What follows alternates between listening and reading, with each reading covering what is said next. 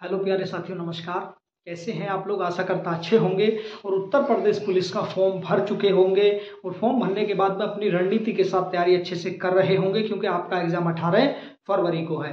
तो दोस्तों, काफ़ी भाई बहन जानना चाहते हैं कि हमारी उत्तर प्रदेश पुलिस की जो है जॉब प्रोफ़ाइल क्या है, कहाँ पर ड्यूटी लगती है, कितना वेतन मिलता है, आपकी ट्रेनिंग कितने समय की होती है, क्या सुविधाएँ मिलती हैं, आवास मिलता है या नहीं मिलता है, और इसमें जो है आपका मेडिकल सुविधा है कि नहीं है तो सारे बिंदु पर मैं बात करने वाला हूँ। इस वीडियो को लास्ट तक देखिए और वीडियो देखने के बाद में आपका कोई भी डाउट नहीं बचेगा उत्तर प्रदेश पुलिस की जॉब प्रोफ़ाइल से संबंधित, ठीक है? तो वीडियो में बने रहिए। तो ये देखिए दोस्तों UP police, civil job profile ठीक है दोस्तों? तो इसमें देखिए वेतन कितना मिलेगा ड्यूटी पॉइंट क्या होगी ड्यूटी आवर कितना होगा, छुट्टी कितनी मिलेगी? ट्रेनिंग कितने दिन की होगी? आवास मिलेगा, नहीं मिलेगा? मेडिकल सुविधा हो मिलेगी या नहीं मिलेगी? पोस्टिंग होगी? कहाँ पर होगी? ट्रेनिंग के दौरान वेतन कितना मिलेगा? ठीक है दोस्तों तो सबसे पहले बात कर लेते हैं वेतन की, क्योंकि वेतन के लिए ही हम लोग जो है सबसे पहले नौकरी करते हैं, क्योंकि अपना परिवार तो वेतन से ही चलता है। तो इसमें देखिए ग्रेड पे आपका दो हज़ार है बेसिक पे की हम बात करें तो इक्कीस सात सौ आपका बेसिक पे होता है।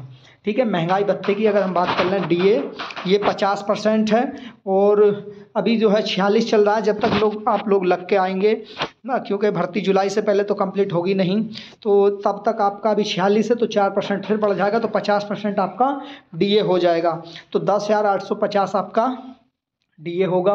मोटरसाइकिल भत्ते की हम बात करें तो 200 मिलता था, अभी 500 मिलता है।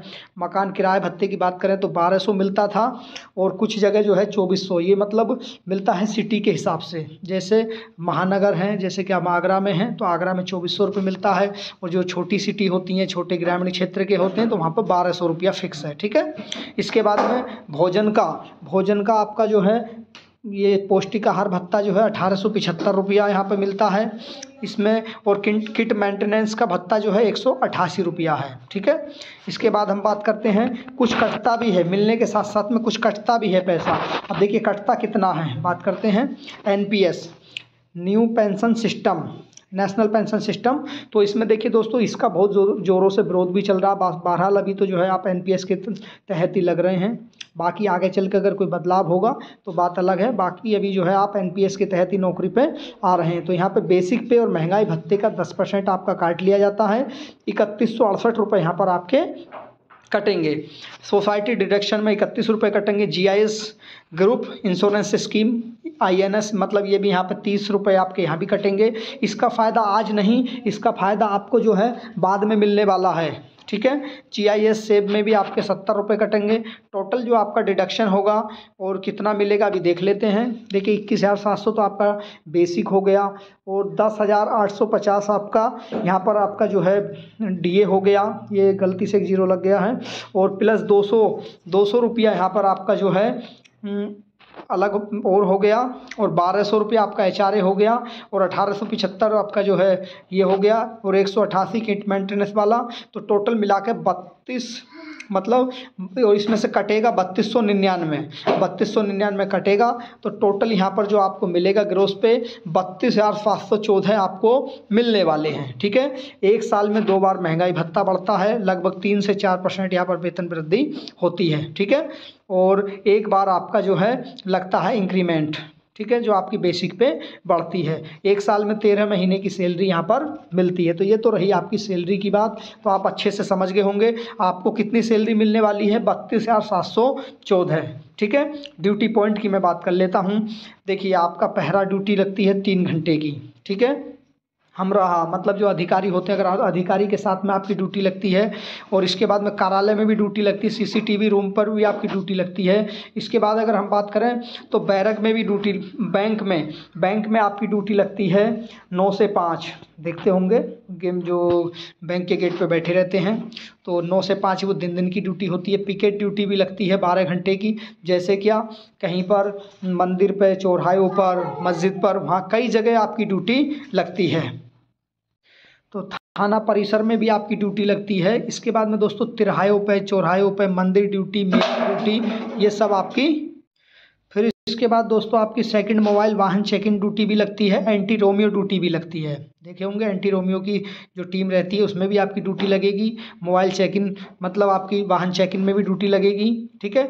डाक ड्यूटी भी आपकी रहती हैं। जैसे कि कहीं एक जगह से दूसरे के डाक लेके जाना होता है तो डाक ड्यूटी भी आपकी यहाँ पर रहती है। महिला हेल्प डेस्क मतलब जो महिलाएँ हैं, उनको हेल्प डेस्क पर भी ड्यूटी लगती है और संदिग्ध वाहन चेक इन में भी आपकी ड्यूटी लगती है। इसके बाद में स्पेशल वीआईपी ड्यूटीज़ भी लगती हैं, जैसे क्या आपने देखा होगा सांसद विधायक के साथ में भी फोर्स जो है रहती है। और किसी को अगर कोर्ट की तरफ़ से भी कोई, किसी को अगर दे दी जाती है सिक्योरिटी तो वहाँ पर भी आपकी ड्यूटी लगती है। और जितने राज्य के उच्च पदाधिकारी हैं, उनके यहाँ आवासों पर भी ड्यूटी लगती है। ठीक है? इसमें देखिए, तेरह नंबर की जो ड्यूटी है, सबसे बढ़िया ड्यूटी यही होती है C C T N S duty, crime, criminal, tracking and networking system. तो यहाँ पर आपकी ड्यूटी रहती है। तो इसमें देखिए दोस्तों C C T N S duty क्या है इसके बारे में जान लो। कंप्यूटर ड्यूटी होती है। काय की होती है? कंप्यूटर की ड्यूटी होती है, जिसमें कौन कहाँ ड्यूटी जा रहा है और उसकी रवानगी रवानगी का मतलब होता है किसी स्थान से जाना। मतलब अगर थाने से कोई किस टाइम जा रहा तो उसकी एंट्री करनी और वापस किस समय आया उसकी एंट्री करनी। और जब दरोगा किसी मुकदमे की विवेचना करता है तो उसी सी में जाकर बोल बोल के लिखवाता है। ठीक है दोस्तों? इसके बाद अगर हम बात करते हैं C C T N S की ड्यूटी सबसे अच्छी है। आपको कभी भी बाहर ड्यूटी नहीं जाना पड़ेगा और इसमें आठ घंटे की काम ही मतलब आठ घंटे से कम की ही ड्यूटी पड़ती है, ठीक है? ड्यूटी आवर की अगर हम बात कर लें, कितने घंटे की ड्यूटी? देखिए, वैसे तो पुलिस में कोई ड्यूटी का फिक्स होता नहीं है। यूपी पुलिस की ड्यूटी का कोई टाइम फिक्स नहीं होता, पर लिखा पढ़ी में आठ घंटे की होती है। वैसे तो आप लोग सुनते रहते होंगे कि संडे की छुट्टी यहाँ पर जो है दी जाती है और एक छुट्टी का प्रावधान चल रहा पर अभी तक ये जो है लागू नहीं हो पाया है। स्टाफ की भी कोई ऐसी कमी वाली बात नहीं, स्टाफ भरपूर मात्रा में, परंतु अभी तक ये जो है नहीं हो पाया है। ठीक है?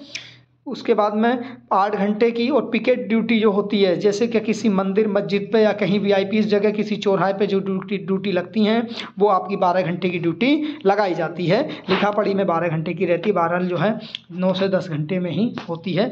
और इस टाइम के बीच में आप एक एक करके खाने पीने जा सकते हैं। ऐसा नहीं बारह घंटे ड्यूटी है तो खाना नहीं खाओगे इसके लिए। आप जो है अकेले नहीं रहते, दो से तीन लोग रहते हैं तो आप खाना खाने के लिए एक एक करके जाते रहेंगे। और बैंक ड्यूटी जब होती है तो नौ से पाँच बजे की रहती है, ठीक है? तो इसमें ड्यूटी जो आपकी हो गई पाँच घंटा, आठ घंटा, बारह घंटा, यही ड्यूटी का आपका रहता है। छुट्टी की अगर हम बात कर लें तो छुट्टी, देखिए, छुट्टी में आपका जो है तीस सी एल मिलती है कैजुअल लीव और तीस ई एल मिलती है, अर्जित अवकाश। आसानी से जो मिल जाता है तो सी एल मिल जाता है कैजुअल लीव ये इमरजेंसी लीव कहलाती है। अर्जित अवकाश जो होता है, ये आपका यही इकट्ठा होता है, तीन सौ दिन का ये इकट्ठा हो जाता है, दोस्तों।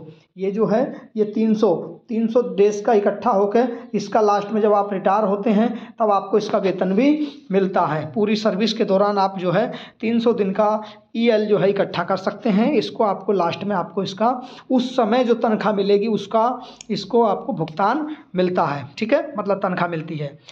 ट्रेनिंग कितने समय की होती है? छः माह की ट्रेनिंग होती है। छः माह की ट्रेनिंग होगी। ट्रेनिंग में अच्छी मशक्क़त करनी पड़ती है। पूरी मेहनत के साथ आपको ट्रेनिंग कराई जाती है।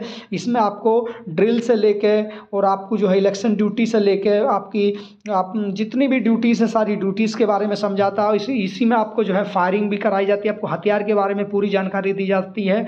वीआईपी ड्यूटी के बारे में मतलब जितनी भी ड्यूटी है, सारी ड्यूटी के बारे में भी यहाँ पर आपको बताया जाता है। आवास की बात कर लेते हैं दोस्तों।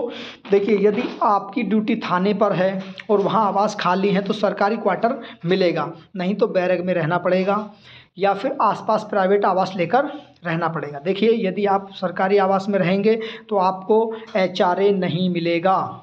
और अगर आप बाहर रहेंगे प्राइवेट आवास में रहेंगे या बैरक में रहेंगे तो आपको एचआरए मिलेगा, ठीक है? मेडिकल की हम बात कर लेते हैं। मेडिकल सुविधा क्या है? तो पुलिस में नौकरी लगने पर आपके परिवार के सभी सदस्यों का पंडित दीनदयाल उपाध्याय कैशलेस कार्ड बन जाता है, ठीक है? जिसमें हर साल पाँच लाख तक का इलाज मिलता है। ठीक है?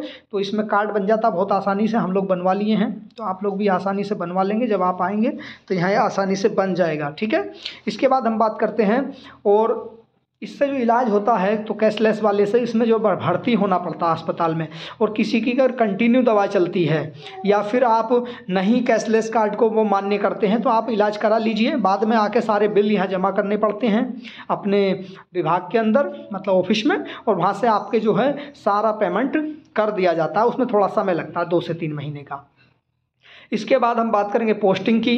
तो पोस्टिंग की हम बात कर रहे हैं तो पुलिस विभाग में देखिए बॉर्डर स्कीम लागू है, जिसके कारण आपकी पोस्टिंग आपके होम डिस्ट्रिक्ट को को छोड़कर तीसरे ज़िले में होती है। मतलब आपका ज़िला छोड़ो साइड वाला भी ज़िला छोड़ दो, जो आपका मतलब सीमा लगी है, उसके तीसरे ज़िले में आपकी पोस्टिंग होती है। जिस ज़िले से आपकी सीमा लगी है, आपके ज़िले की, उसमें आपकी पोस्टिंग नहीं होगी, तीसरे ज़िले में आपकी पोस्टिंग होगी।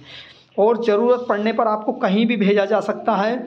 और रिटायर्ड के समय, जब आपका रिटायर का समय होगा तो आपको दो साल पहले, दो साल पहले आपको जो है, ये सुविधा दी जाती है कि आप अपने बगल वाले ज़िले में पोस्टिंग करा सकते हैं, या जिस ज़िले के हैं, उसमें भी आप जो है पोस्टिंग करा सकते हैं, ठीक है? ट्रेनिंग के दौरान देखिए वेतन आपको मिलने वाला है। ट्रेनिंग के दौरान आपको बत्तीस हज़ार सात सौ चौदह रुपये वेतन के रूप में मिलेंगे और पोस्टिंग होने पर भी यही वेतन मिलेगा। अब जैसे गाँव में बहुत बड़ी धारणा बनी हुई है कि सर, क्या वेतन जो है शुरू में तो ज़्यादा मतलब ट्रेनिंग में आधा वेतन मिलता है। तो वो पहले होता था। अभी किसी भी भर्ती में ऐसा नहीं है, चाहे वो आपकी आर्मी हो, चाहे आपकी पैरामिलिट्री फोर्सेस हो, रेलवे हो, बैंकिंग हो, या फिर आपकी पुलिस हो, सब जगह पर वेतन, समान वेतन आपको मिलता है ट्रेनिंग के समय पर। ऐसा नहीं है कि ट्रेनिंग में आधा वेतन मिलता है, ठीक है? तो आप जो है अच्छे से समझ गए होंगे दोस्तों। तो मैं बात करूँगा, ये आपका जो है, जो प्रोफ़ाइल होगा इतनी तनख्वाह मिले, सब कुछ मैं आपको बता दिया हूँ। इसके बाद अगर किसी का कोई डाउट हो तो ज़रूर कमेंट सेक्शन में पूछ सकते हैं। वीडियो को अगर पसंद आई हो तो वीडियो को ज़रूर लाइक कीजिएगा और अपने दोस्तों में शेयर कीजिएगा, ठीक है? और चैनल को ज़्यादा ज़्यादा सब्सक्राइब कीजिएगा। तो आशा करता हूँ आप लोग जो है अच्छे से पूरा का पूरा जो प्रोफ़ाइल देख लिए हैं, इसमें सारी चीज़ें मैं यहाँ पर बताया हूँ। आपका वेतन, भत्ते आपके आवास की सुविधा सब कुछ मैंने जो है रिटर्न में आपको दिखाए हैं। तो आशा करता हूँ वीडियो आपको पसंद आई होगी। इस वीडियो को अपने दोस्तों में, भाइयों में, बहनों में सब जगह ज़्यादा से ज़्यादा शेयर कीजिए ताकि वो लोग भी उत्तर प्रदेश पुलिस का जॉब प्रोफ़ाइल देख सकें। ठीक है प्यारे साथियों, मिलता हूँ फिर अगली वीडियो में और ज़्यादा से ज़्यादा चैनल को सब्सक्राइब कीजिएगा। ठीक है दोस्तों, जय हिंद, जय भारत।